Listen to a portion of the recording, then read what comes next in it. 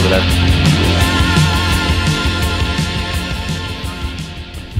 Okay, I do how wanna many ask- have watched Netflix in the last seven days? Last seven days, half. Okay. You guys We all to paying or sharing passwords? We got, that's it. None of that. Thank you, Alf. Thank you, bro. Um, how many people have watched a Netflix original movie in the last seven days? War Machine. Smaller group. Let's let's start there. Okay. Um, movies. You've you've been doing your own movies for a couple years. You're ramping up now. I read uh, you're going to spend about 400 million dollars on four movies that are coming out this year, Okay. give or take. You can never believe what you read, but go on. Sometimes. Um, why are you getting into movies now? Why'd you start with TV and then get into movies? And what's different about movies and TV for you guys? So for a long time, uh, we only had other people's shows that they had launched, uh, like Mad Men, Breaking Bad, great shows, but um, we were not the originating network. Um, and then we started to expand into original series, of course, first with House of Cards and continuing to, to grow now with the new show Glow in another month. Um, and along the way, we realized TV shows and movies are actually very similar in many ways. Their difference is the theatrical distribution, but in terms of the entertainment, and that we should uh, feel comfortable getting into original movies and doing those in a, in a big way. Uh, and so that's what we're underway. So I know it's not easy, but it seemed like getting into TV shows was pretty easy for you guys. You threw a bunch of money at some stuff, and a bunch of things seemed to be popular. The people seemed to like them. We never know the real numbers. They seem critically acclaimed. Movies does not seem like it's had the same trajectory for you. In a shareholder letter recently, you said actually some of our movies have not worked out well. You even named one. You normally never say something didn't work out. So what? Why is the learning curve different for you with movies? Well, I think if you have the perspective that we're just throwing money at things and then some of them work, it probably does Using seem a gross bloggy term. Um, but uh, you know, I don't know that movies are that much harder. We just have chosen first to do serialized entertainment because you get into a show and then you get excited and addicted by it. And binge viewing is a very novel thing that we pioneered, um, and there's no movie equivalent. Um, so you watch a movie in the middle of the night, that's great. Right. It's basic on demand. But think for, for the original shows, that the first series we did, things like Breaking Bad, it was transformative to be able to go back to the beginning and binge view it. So we concentrated on where we had the most competitive advantage, that's binge viewing, things that we're binging.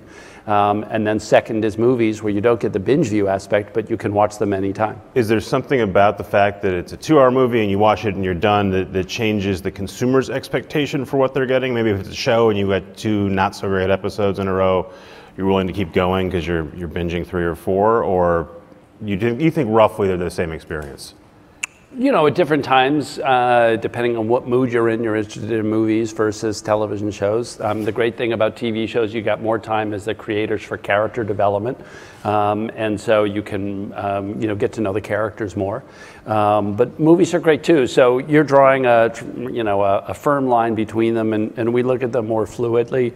Um, I think it's fair to say we've been, you know, uh, amazingly successful on series, and we're just getting started on movies. And the movie you're referring to, uh, Crouching Tiger, Hidden Dragon, um, uh, didn't get viewed by as many people relative to its big cost. Uh, Why, why point that out? You never sort of say this thing didn't work out. You always say this thing is an amazing show, people are subscribing to it, it's a huge hit.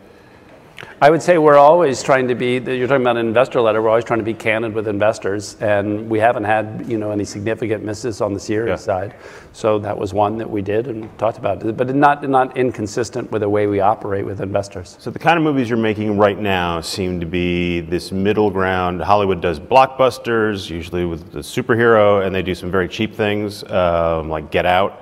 Um, you're in this middle ground. It looks like you're spending around $100 million a movie. It's sometimes it has a star like Brad Pitt in it. It's the kind of movies that Hollywood doesn't seem to be making right now.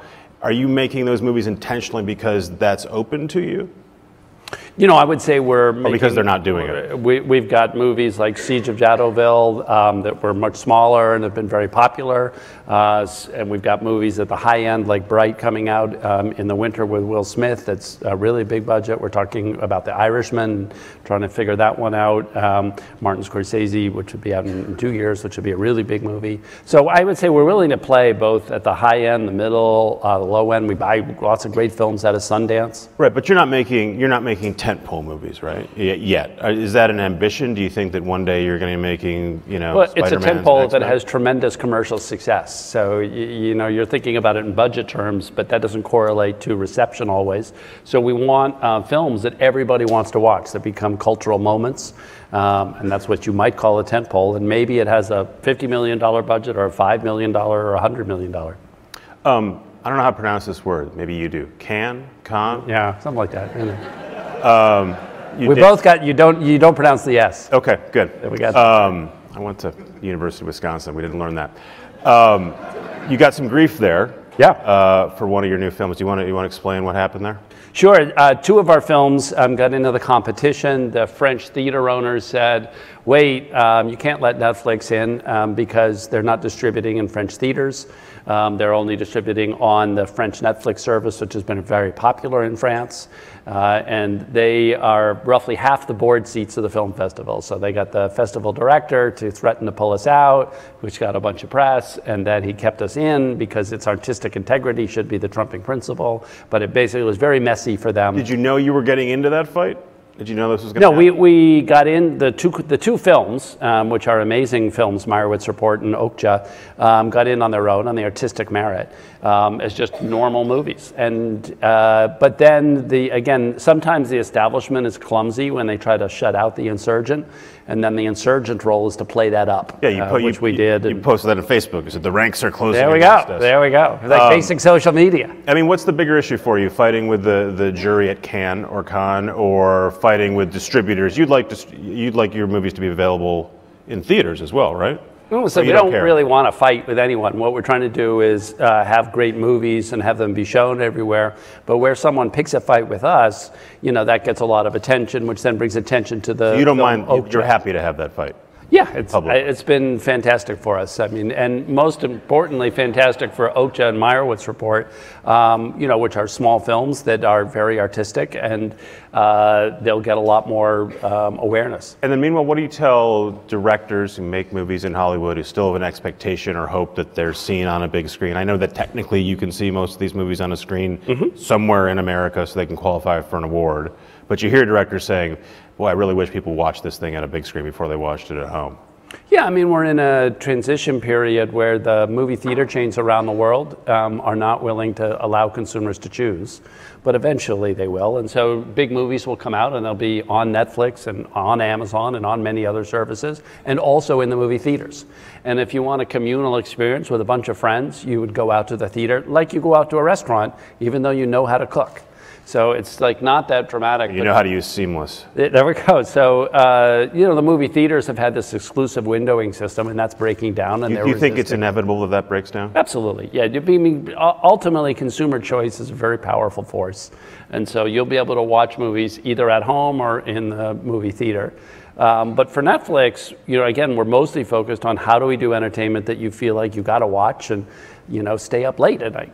Can we pull back a bit? Um, you guys started streaming just about 10 years ago. Yep, Um, so prior to that, you were sending out movies on DVD, licking a lot of envelopes. looking a lot of envelopes. When you started 10 years, and now you're at 100 million subs, you're in almost every country in the world. Yep. How far did you project out? Did you say, I, I think in 10 years we're going to be at 100 million subs and we'll be in every country in the world, basically outside of China? Or how much of this did you see coming? You know, the beautiful thing about Excel is you can do fill right. So you put a, a growth rate in there and you go fill right. And then you see, wow, those are big numbers. But uh, it, it's not more planful than that. How much? So, it's good. The truth. So there's no point in me asking about your 10-year plan, but but what is that experience of growing over those 10 years and basically creating a new kind of business? Uh, how does that inform how you're thinking about the next year or two years? Um, you know, what, what we're really focused on is how do we push the creative boundaries um, and doing shows that uh, bring people together, are exciting. Sometimes they polarize people. Uh, and again, this is a fairly US uh, centric audience, but most of our growth now is international. We're about 50 50 um, in terms of memberships.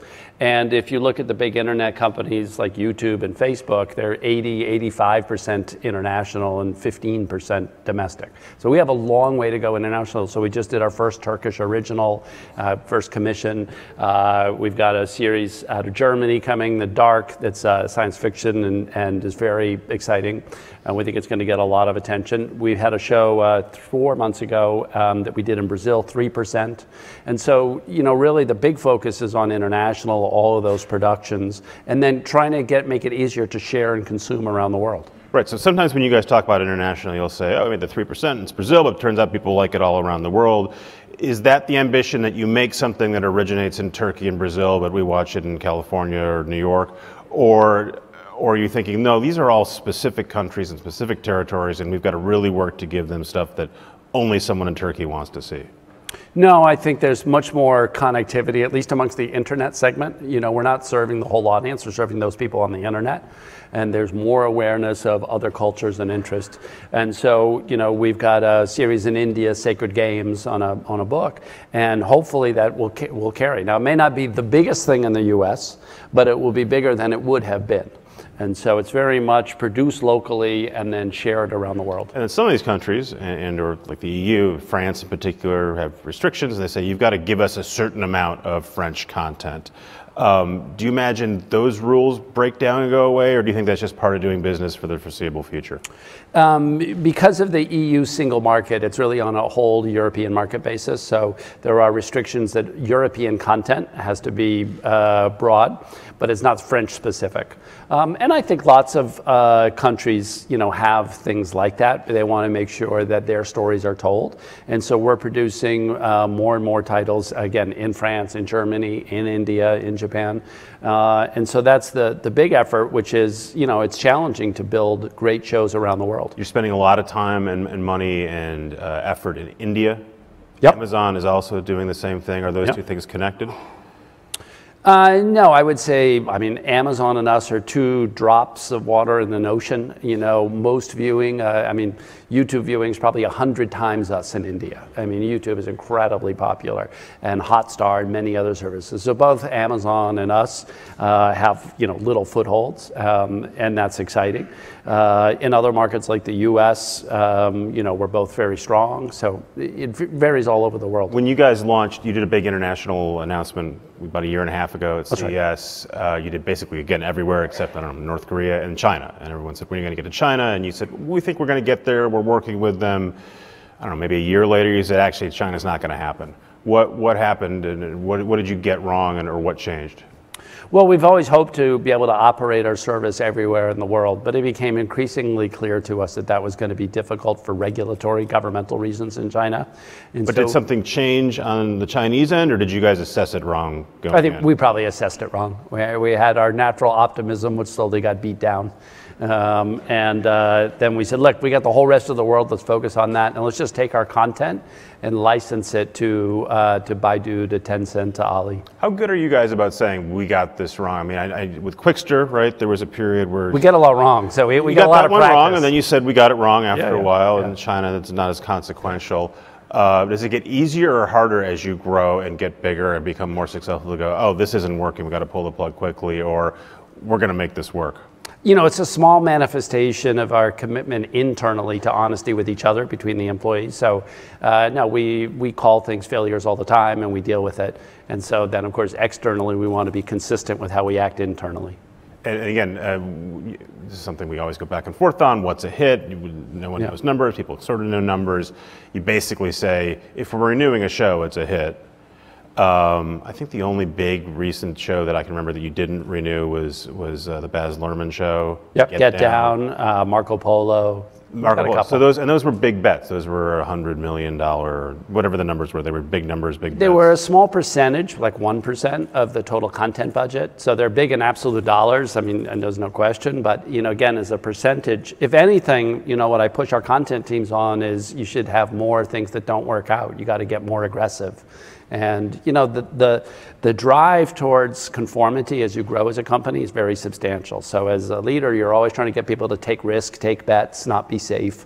And so we're doing more and more entertainment that's uh, somewhat crazy, and we'll see how that. We, we have a, a series in Brazil that'll be coming out later this year, Car Wash, um, that's about all the scandals uh, there. And then for those who follow Brazil politics will know that the scandals have continued um, and taken a more serious uh, note with the current government, um, and yet we're right in the middle of it. And so that, that's a big risk in the political side. There's other risks that we, we take in other do you, areas. Do you, are you conscious about bringing in new blood, new perspectives to allow you guys to try new things? Uh, someone was telling me a story yesterday about when you moved from DVD to streaming, you basically took the DVD people out and replaced them with the stream people and sort of your executive. Yeah, except for Ted and I and stuff. Yeah, so you're yeah, still here. So. Um, but that was conscious, right? You said we want to bring we want to bring in people with a different perspective. Are you doing that sort of as you move into different kinds of programming? We, in our hiring, we're definitely trying to hire international people and, and then be more global. So a, a big thing for us is we were a domestic only company for 15 years, and then you've got to retool a lot to really be effective globally. Um, interviewed you a bunch. Um, there are a bunch of questions that when I, I poll people, I say, what do you want to hear? Yeah. They're the questions I've asked you before. Okay. I figure should ask. So I won't roll my eyes. Go we'll, we'll, we'll, do the speed round. Okay. Um, why aren't you doing sports? When are you going to do sports?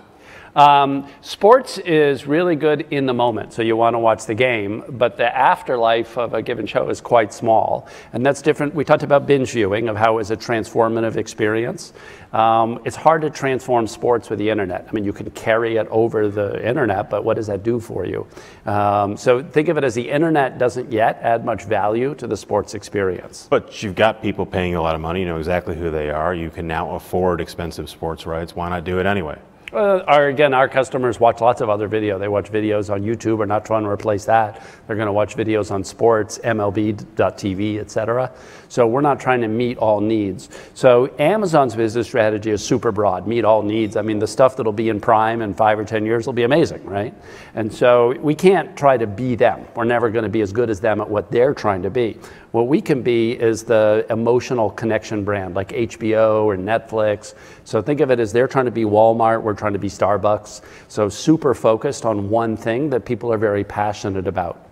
Uh, when are you going to bring ads into Netflix? You could make so much money if you just brought in a little bit of advertising or you had shows that were sort of branded or sponsored. You know, like HBO, we're really committed to uh, an ad free experience. Um, so, no plans. No plans. Is there anything that could push you over the. Oh, they like it. This is a high-end audience, so you'd expect it. But what if someone said, "Look, you can make this much more awesome programming. You can keep your prices down because eventually you're going to have to raise prices again." There's a. It's not. It's not just because you can make more money. You can do other stuff with that advertising money.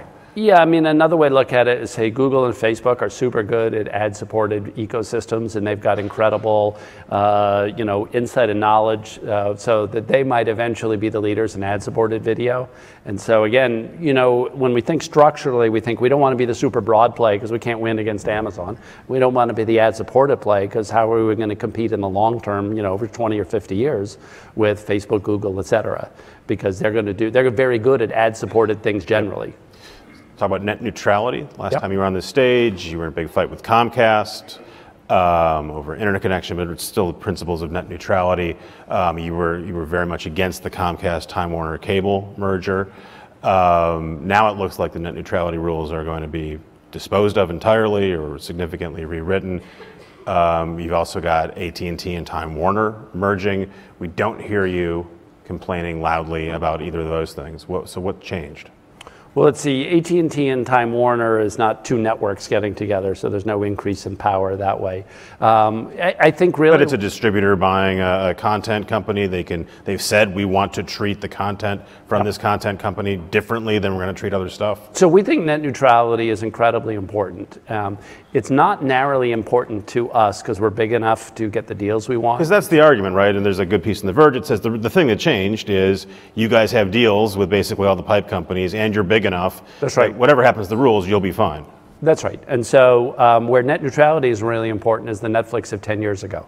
And it's important for society, and it's important for innovation, it's important for entrepreneurs. So, in that sense, it is really important. And, you know, we're weighing in against it. We said we think net neutrality is very important. But you're not as loud, you're not yelling about it on Facebook uh, you're not. Yeah, no, you're that's not, fair. You're, you're not that's fair. aggressive. It's not our primary battle at this point. Other people it is, and that's an important thing, and we're supportive through the industry association. But I think you're right that we don't have the special vulnerability to it, but it's still a really good thing. Now, whether Title II is the best way to get that, then there's a very technocratic argument, but there's not an effective substitute. But by and large, net neutrality is an accepted principle around the world. There's 100, well, there's 100 countries that don't have net neutrality laws, and they still follow the fundamental principles. So don't think about it as without the law, it's going to be devastation. It could be, so it's better to have the law, but it may be that all the ISPs just accept the principles and we get to go on with net neutrality. Um, it's just not enshrined formally. We'll see. Don't worry as much. Is what you're saying. We're you're we're fine, but everyone else is Honestly, probably going to be okay too. I, I think the Trump FCC is going to unwind the rules no matter what anybody says. So th- that's going to happen, and then we get to see what's what's going to come out of that. Speaking of Trump, uh, the the weekend that he introduced the the first attempt at the travel ban, um, I don't know if you were the first, but it seemed like you were the first prominent tech executive, really any any corporate executive, to say this is a bad thing. You posted on Facebook. Yep. Did you give any thought to the fact that you're the head of a public company and you were taking on the president, and and this was a controversial thing for you to say out loud? Well, look, we see it as taking on the policy, not the president. Um, our Said Trump's policy are bad for Netflix and that's right. bad for so America. that's the policy, right? You know, so Trump was the first word, though. The policy is what we really care about, and that policy, which the courts have blocked, um, was really toxic. Uh, it's toxic to us that's building a global company. We have employees from many of those countries that work at Netflix around the world now can't travel. Um, and it's, you know, in my view, it's anti American to block out specific countries and then all of the people. So if there's specific terror risks, I'm all for safety and security. Uh, but, you know, there's lots of people like our employees or GE's employees that are global companies. So uh, at many levels, I thought that was, uh, you know, a wrong-headed policy, and we were willing to talk about it. Did you get any blowback from that? You've got, if you have 50 million customers in the U.S., 100 million uh, around the world, if you say something political, presumably some of them won't be happy with what you said. You know, I think that's probably true, but um, there's nothing that we noticed in the numbers or anything. Um, and, you know, again, we're not trying to pick sides uh, politically um, in the US or in other countries. We're really trying to focus on certain policies that we think are positive. National politics, international, down to local. Um, people were surprised to see that you were actively involved as a donor, at least, in the was the LA school LA School Board, yeah. LA school board race this spring. Why were you putting millions of dollars into that race? Well, I've been a supporter of uh, change in public education, providing more kids opportunity for almost 20 years now. You're pushing charter schools. specifically charter schools as a vehicle to that. So I'm on the board of KIPP charter schools, which are about 200 schools uh, around the U.S. Uh, these are nonprofit public schools, um, mostly uh, uh, serving kids of color and giving them more opportunity. So they've been a, a very powerful force. The old LA school board was pretty anti-charter. Um, the new LA school board is pro all school public schools, both the district schools and charter. So it's a more inclusive attitude. But it's, so, but why go to LA specifically? It's just, I mean, there's this, there's a charter. You're reporting on that one because we actually won, which is the surprise. No, it whereas just came up too. I mean, in- I are, you, are you actively involved around the country and we're just not seeing it? Yeah, like there was a Massachusetts ballot initiative supporting charter schools that I supported, and it lost by a big margin. Um, so there's some wins, some losses. So it's not LA specific. Not particularly, no. And, and what, what got you involved in schools as a, as a It's very random. I, I was right out of college. I was a Peace Corps teacher, uh, high school math in Swaziland, um, and then came back, got into computer science and um, doing companies and becoming a philanthropist. And that's the area then that I knew a little bit about. And so I joke that if the Peace Corps had sent me to be a fish farmer, I'd be working on agriculture policy today. Um, so it's, uh, it- it's somewhat just the accident of history. But then I think you focus on some areas and you really try to get good at understanding them. So I've been working in education reform, including being on the uh, State Board of Education in California uh, and other things to try to understand the breadth of the system. Most people who work in school districts are super thoughtful people, are very committed, and there's way too much polarization in the debate. Because I think there's a lot of people who do work in education, and a bunch of my family are in this on this side, who say, well, if, when there's a Reed Hastings or a Bill Gates or someone from technology and a billionaire, and maybe they think they know what they're doing, but they really don't. They don't understand how the system works. There's a reason we do these things. How do you how do you push back against that pushback? How do you say no? We come in peace. Well, it's not really peace or war. It's really about serving the kids. So I would say let's go look at some KIPP schools and see how they're doing. And you know, I've also been a big donor of many of the other uh, charter school networks. And everyone can agree when the kids are doing well, the interest is being served. So it's really trying to focus on the ground, the common ground, which is providing kids opportunity. I'm going to open up to questions in a second, but I just wanted to circle back. I said, not entirely facetiously, it looked fairly easy for you guys to get into original content, right? You spent a bunch of money, you gave it to people who knew how to make things, mm-hmm. like David Fincher, yep. Kevin Spacey, and they made good content. It didn't seem like it was that hard to get into entertainment. We're seeing Google, Facebook, Apple all sort of circle around the edge of it. They have a lot of resources, but they're not really making big bets. Apple's going to make a James Corden spin off show. Why do you think those guys who want to do video, who want to do original content, are being so modest about these first steps? Well, I think Amazon's being so aggressive and spending billions of dollars yep. that you know you, you have to look at it if you're the next party wanting to get in is okay to get to leadership I got to get to Netflix I got to be able to beat Amazon at this and I think that's a pretty scary prospect for most companies. For Facebook or Apple or Google, right? The billions of dollars. It would not be consequential for them to spend billions instead of a little bit of money on these things. It would not be consequential to spend billions. Yeah, I know. From the li- your lips to God, it's still pretty consequential. I promise you that. Do you have advice for them as their as their as they're dipping for, our, for, our, for your rivals? Our, yeah. our competitors, no. I mean, I think, look, the, the more that people get in, um, the more the talent, uh, writers, directors uh, get work, and the more shows are created. And I think there's a lot more to be able to spend. I don't think we're anywhere near saturation any more than we are in the entrepreneurial ecosystem, or think of it as um, apps on your phone. You're on the you're on the board of Facebook. Yep. They're getting into video. Have you had to step out of any of these meetings? Is there a conflict yet?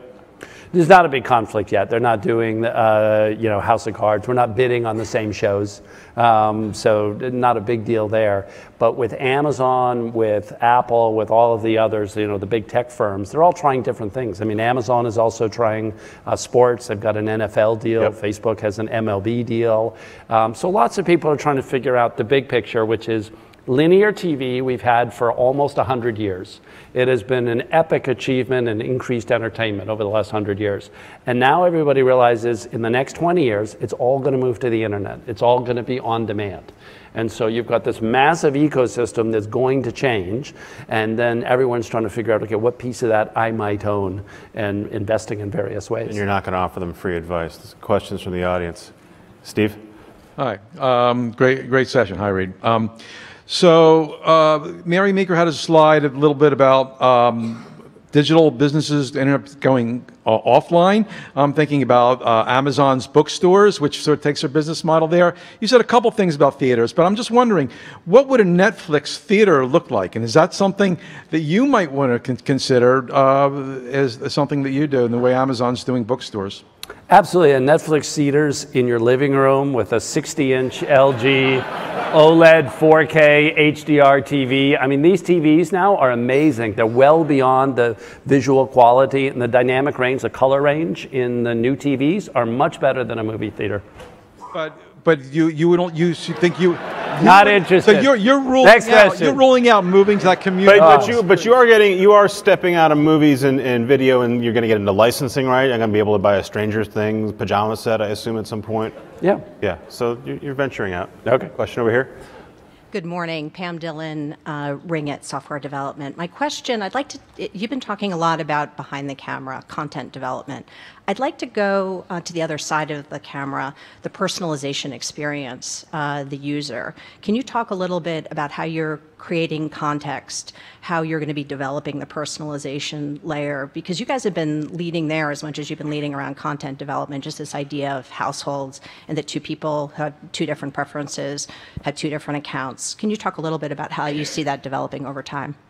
Sure. I mean, entertainment taste is incredibly broad. So if we polled all of you for your top five shows in the last year, you'd, you'd see no uniformity. And so the key in uh, music, uh, in video, is to really try to do a better and better machine learning job on the data to try to present you with content that you're going to love. And so uh, for Google, the dream, the I'm feeling lucky dream, is that you don't have to look at the 10 blue links. You can just type in something, and the first result is always the one that's right. Now, they're not quite there, but it represents that dream. It's very similar for us. We want to be able to have such good personalization that you turn Netflix on and just just starts playing, and it's the right thing. And in some ways, that dream's impossible to reach because you all have different moods, you want control. But it's what we're trying to get to is like there's three or four choices, and they're all like, oh my God, I gotta watch that show. And so, you know, we're going towards that. And I think all of us are learning together about um, the different statistical techniques that can get to uh, better and better results. Question here. Great. Uh, I have a question about uh, net neutrality. So a few years ago, when it looked like net neutrality was going to be removed, you guys got into a whole bunch of different fights with the carriers. And so it seems as though if net neutrality is removed now, a whole bunch of smaller companies will get into similar fights. We know exactly what will happen. What happened to you will happen to other companies, education companies, IoT companies. Um, so I guess my, my question is, do you, are you really saying that you won't be as involved because it'll affect other companies and not you? Um, I would say that we're very supportive of net neutrality, but you're right that our commercial interests, we've got long term contracts, we've got these other things, and we had to carry the water when we were growing up and we were small. And now other companies have to be on that leading edge. Now, we're still supportive of it, we're fighting it through the association, but you're right that it's not our primary risk profile at this point. And our primary risks are things around global and around uh, taxation and other things, you know, in other countries. And so it's natural that a company moves on to the battles that it's currently facing. And we're, again, we're still supportive on that battle. But it's really the next round of companies through the Internet Association that are on the cutting edge of it. But in the short term, I don't think there's much they're going to do. I think the FCC is going to unwind Title II. And then what we have to do is see can the ISPs, without formal regulation, all respect net neutrality? And I think through the battles of the last 10 years, many of them also realized that the long term interest is in peace and in uh, honoring those net neutrality principles. But there's no legal guarantee, so we'll have to see.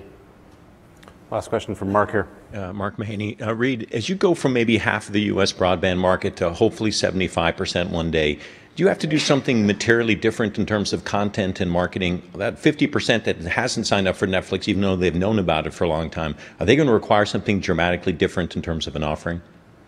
I don't think it's dramatically different. I mean, when we were 20 million, people said, well, HBO only got to 30. Isn't there a wall there? And then we just kept on growing and growing and making the shows better. So I would say it's mostly do what we do now and just do it better.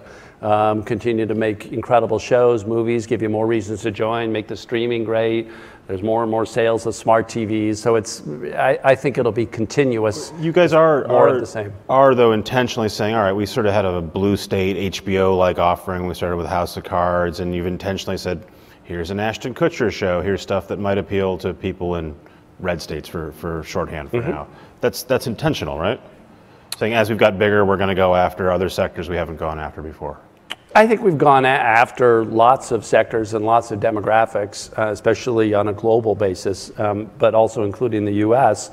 Um, and then it's just not merchandise to you. So you might be an HBO style viewer, so you're just not going to see much of that. Right. Um, but someone who uh, watches faith based content will see a lot of faith based content on Netflix today and, and have for a long time. Good. Great. This is great. Thank you for great. your time. Thank you all.